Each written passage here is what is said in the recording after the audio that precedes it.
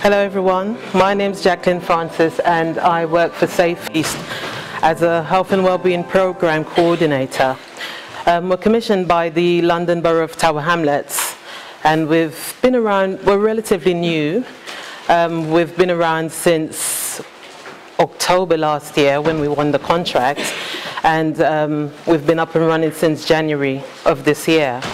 Um, previously, there were several different providers who provided the service that we provide before. For instance, you had um, Step Forward that provided the sexual health element. Lifeline provided the um, substance misuse. We had the youth service who provided um, peer ed in the community and peer ed in schools. So all of these sort of like individual programs have sort of like been amalgamated into one contract. So we now offer integrated services for young people aged 10 to 19 um, in the borough, across the entire borough of Tower Hamlets. So, as you all know, adolescence is a time of great experimentation, and with that comes a lot of risky behavior, and that's associated with poor educational achievement, mental health, early morbidity, premature mortality, and um, there's a greater likelihood of disease and lifetime problems associated with those behaviors. Um, for instance, we have un, um, the uptake of unsafe sexual behavior, uptake of smoking, and also drug and alcohol misuse. And we know that young people who are engaging in one type of risky behavior are more likely to engage into, in, into other types of um, behavior or more than one behavior. And substance misuse and risky sexual health behavior, um, criminal activity, um, domestic violence, sexual exploitation, these are all sort of like some of the, um, the issues that um, we deal with. And also our work um, covers prevention and early intervention because if we intervene early, uh, we can avoid a lot of the problems that young people go on to face, or at least lessen um, some of the issues that they face. So the core elements of our service, we offer two main strands, which is sexual health and um, substance misuse, but we also cover smoking cessation, and we look at hidden harm support because young people might not be um, sort of like actually using substances, but they may be victims, for instance, their carers or their parents might have substance misuse problems, and so then they would get affected with that by that. So we also deal with young people in those situations. And we also provide an element of education and early intervention. We go into schools and we provide um, PSHE sessions around substance misuse, um, sexual health, and stop smoking. And we also provide um, those sessions not just in schools but also in community settings and non-traditional school settings like pupil referral units. Um, so we do try and cover like the entire borough and we also try to reach um, hard to reach young people by doing um, assertive outreach. In terms of eligibility, we work with 10 to 19 year olds, uh, but different elements of our service um, covers um, different age groups. For instance, um, our core age group is 10 to 19, but we offer um, our service up to 20, up to those who are 25 years old, um, and that would include people who are um, looked after, sorry, young people who are looked after or caregivers or who have a disability. In the case of substance misuse, we offer treatment up until their 19th birthday, so up until 18 years old. We also offer clinic in a box just to increase accessibility of our sexual health services across the borough. And um, that's available to 13 to 19 year olds. Um, the National Chlamydia Screening Program goes, and the C-Card scheme, which is a scheme where young people can access condoms free of charge by registering um, with a, a, credit, with, with um, a card. Um, we offer that up until young people are 25 years old. And um, in terms of consent, we work with young young people, but they would need to provide consent if they're um, under the age of 16. So anybody who comes to us who's under the age of 13, that would be raised as a, as a safeguarding issue and they would be referred on.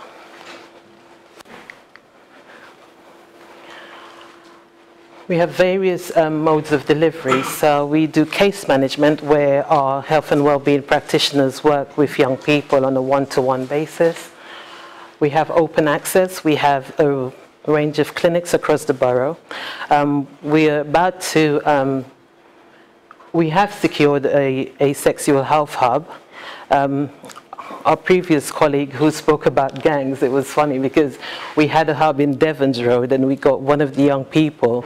Um, we were doing a consultation to find out if that was, you know, an area that young people would like to access. And he wouldn't attend because he said that he'd been held up by knife point and both gunpoint in the Devons Road area. So we had to abandon that idea and look and try and get um, some premises that were sort of like more central that um, young people would probably um, feel more comfortable accessing. We deliver workshops and, and sessions on sex and relationships, and we cover a broad range of, of, um, of topics we contact the schools and we try to find out what their, what topics they're interested in us delivering and then we tailor a package. We don't have like a set session that we use. Um, we consult with the schools and because and, and deliver the sessions around the requirements of the schools because different schools have young people with different problems that sort of like get flagged up. So one school might want a session on drugs and alcohol, one might want contraception and, se and sexually transmitted infections. Another one might want something around pornography.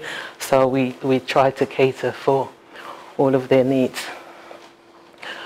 We also will be rolling out a peer education program in schools um, where we get young people to train up as peer educators to mentor their peers around um, sexual health and substance misuse issues and other health issues.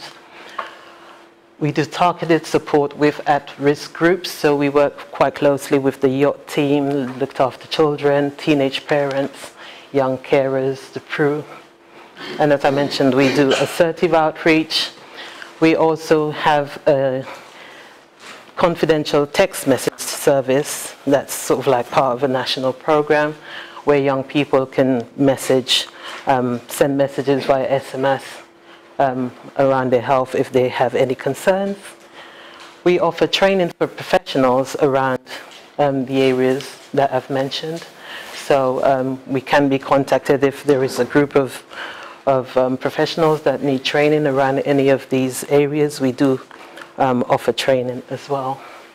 Um, young people can either self-refer by phone or drop in or they can be referred by professionals.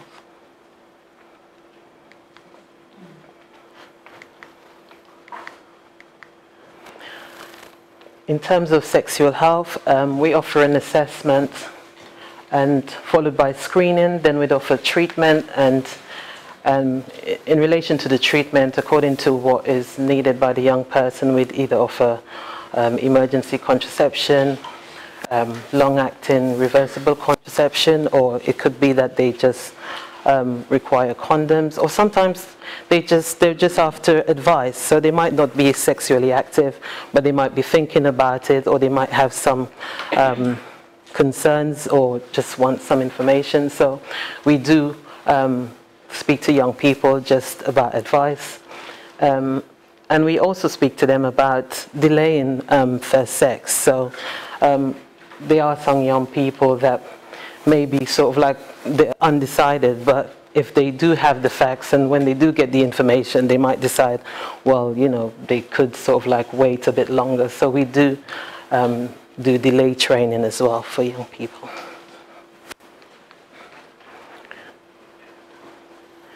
Um, with substance misuse, most of the young people that we see um, are on a caseload and the substances that they present with um, usually cannabis and maybe nitrous oxide. These are sort of like the two um, types of substances that our young people tend to um, present with. And we offer um, sort of like harm, harm reduction um, support services and also um, education and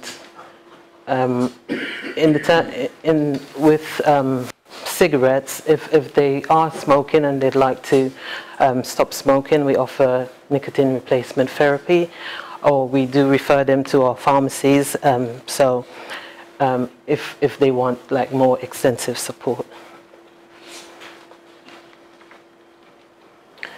Um, we work in a range of settings. So um, we work in, we, we do work in several um, clinics, GP practices, um, health centres across the borough. Um, we try to make our service as accessible as possible. So if the young person does not want to come into uh, an office or an establishment, we do try to meet up with them in a setting that they feel comfortable with, say for instance a cafe or um, but somewhere that's sort of like um, in the open. We don't do home visits, but we do encourage young people to sort of like meet us in sort of like um, accessible locations or um, in the borough, like probably a library or somewhere that's more suitable. Um, in relation to um, what we have, um, we're about to roll out, as mentioned, our hub, we're expected to move into our hub in January, and our hub will be located in the Whitechapel area.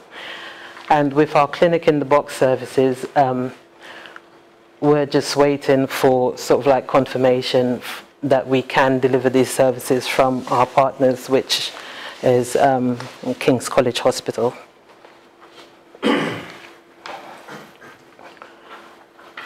And this slide shows where we are, um, where we've got a clinic. So we've got um, XX Place Health Centre, and that's a drop-in referral. That's a sexual health clinic. We also have provision at East, East Eastside Youth Centre, Haileybury Youth Centre, Barkantine Medical Centre, Newby Place. We've actually got two clinics at the Barkantine. So we've got a Saturday clinic which runs from 9 to 2 p.m. We've also got satellite clinics at um, Queen Mary University and at New City College, which is former known as Tower Hamlets College. And we have signed up to the You're Welcome program, and we are about to reconvene the You're Welcome program in the borough. And You're Welcome is a set of criteria that um, establishments that deliver um, youth um, health services to young people sign up to to ensure that they're um, young people friendly. So when young people see this logo, they know that they can go to this establishment and they will be received and treated with respect because um, a lot of young people are deterred from going to some pharmacies or GP practices because they don't feel like probably the staff make them feel like they shouldn't access services because they're too young or because of their um, ethnicity, etc. So um, young people can actually feel comfortable accessing services with this logo. When they see this logo, um, they know that they've sort of like um, followed the criteria and they don't need, when they go there, they don't feel judged and they can be treated, their information is treated with confidence. Um, this is a slide of our contact details. Our service manager is Lisa Sturrock. She was meant to give this talk today, but unfortunately she was double booked. Uh, but if you do need any further information, feel free to contact us. Thank you.